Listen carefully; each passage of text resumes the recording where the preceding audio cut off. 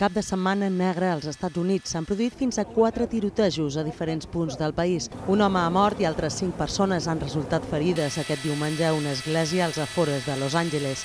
A la mateixa ciutat, al Mercat Central, una persona morí per trets durant un altre tiroteig.